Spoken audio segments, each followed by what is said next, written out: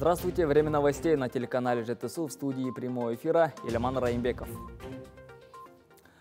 Усиленный режим карантина вводится на территории Алматинской области уже с сегодняшнего дня. Соответствующее постановление подписал главный государственный санитарный врач региона Кайрат Баймухаметов.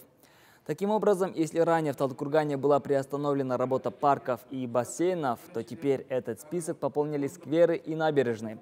Центры обслуживания населения перейдут в режим работы онлайн. Услуги, которые невозможно получить на портале, будут оказываться по предварительной записи с электронной очередью. График работы ЦОНов установлен с 10 утра до 16 часов. Банки, почтовые отделения будут работать по предварительной записи с учетом социального дистанцирования. Коснулись ограничительные меры и туристическую отрасль. На базах отдыха и санаторно-курортных центрах требуется обязательная установка дезинфекционных барьеров и тоннелей при входе на территорию объектов.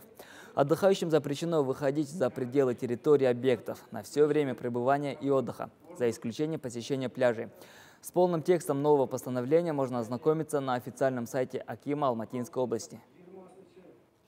Закрыты выезда Э, туристические базы, национальные парки, э, находящиеся возле э, города Алматы. Это Карасайском районе, Талгарском районе, Эмбекш-Казахском районе, Илийском районе. На территории к ведущих к базам отдыха, туристическим базам, пляжам будут установлены мобильные посты из числа полицейских. В эту субботу и воскресенье, 20-21 июня, Э, отдыхающих не будут запускать к этим базам. Это не касается тех лиц, которые ранее туда прибыли и отдыхают. Они могут продолжить отдых. 0,1% годовых. В Алматинской области стартовала программа льготного кредитования торговых объектов через акционерное общество СПК ЖТСУ. Минимальная ставка вознаграждения позволит стабилизировать цены на социально значимые товары.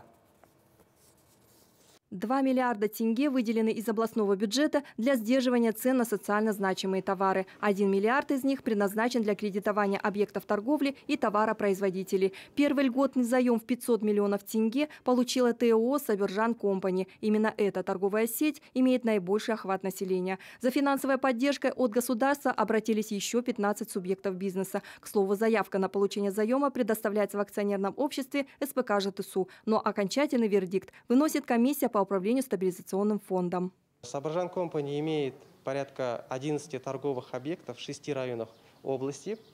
А, и еще два магазина сейчас в ближайшее время планируется а, открытие в городе Талдыкурган. Это супермаркеты Тоймарт. Сабаржан Компани охватывает порядка 6 а, районов области.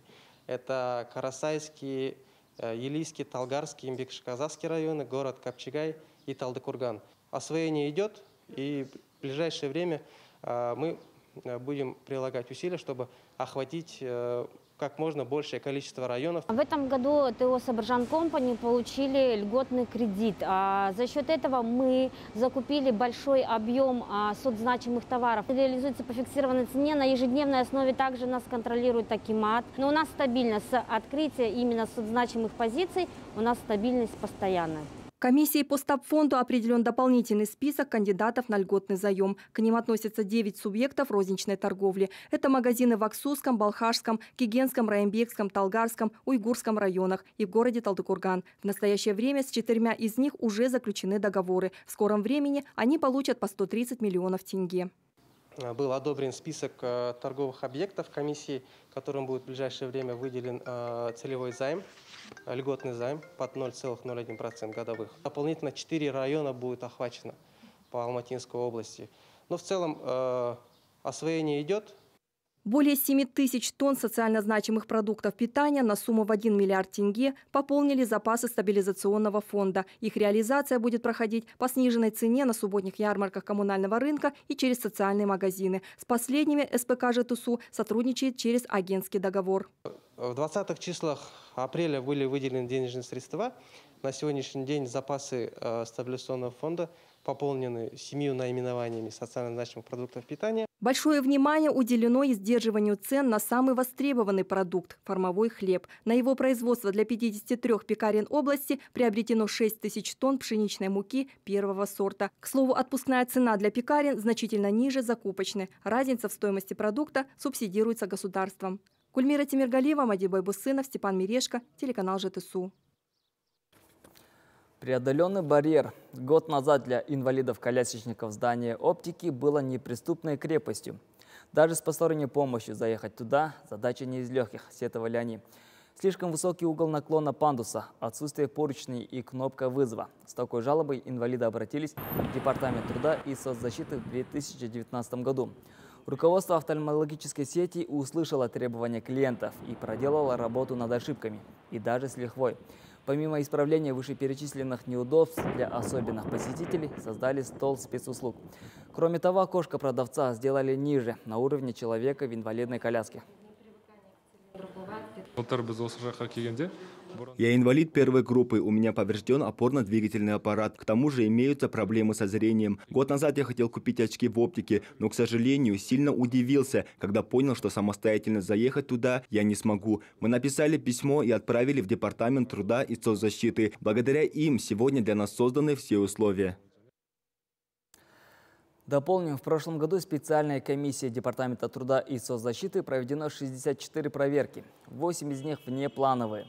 В итоге руководители четырех объектов малого бизнеса были оштрафованы на сумму 250 тысяч тенге. Однако немало и тех, кто устранил указанные в предписании недочеты. Таковых по областному центру свыше 15. В их числе филиал Каспий банка, Жилстройсбербанк, ЖТСУ Водоканал, Облсуд, а также мелкие магазины и парикмахерские. К другим темам. Должников к ответу. Стражи правопорядка Алматинской области и судебные исполнители объединили свои усилия в борьбе с нарушителями правил дорожного движения, не выплатившими наложенные на них административные штрафы.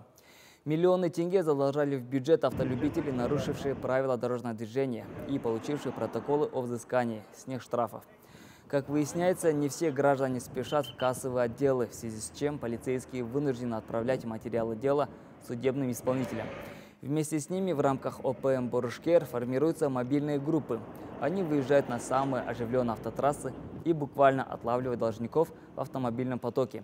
Очередной этап охоты за неплательщиками будет проходить в течение нескольких дней. Только за первый день бюджет пополнится сотнями тысяч тенге. Проводится оперативно-профилактическое мероприятие Борушкер совместно с региональной палатой частных судебных исполнителей э, проводим э, данную акцию, э, в рамках которого используются комплексы Криспи. Останавливаются транспортные средства, ранее которые наложены аресты, имеющие за административные правонарушения, то есть неиспользованные постановления.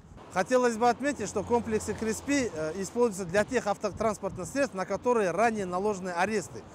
То есть скоростной режим в данной, на, в данной акции не используется. Это была вся информация к этому часу. Спасибо за внимание. Встретимся в 21.30.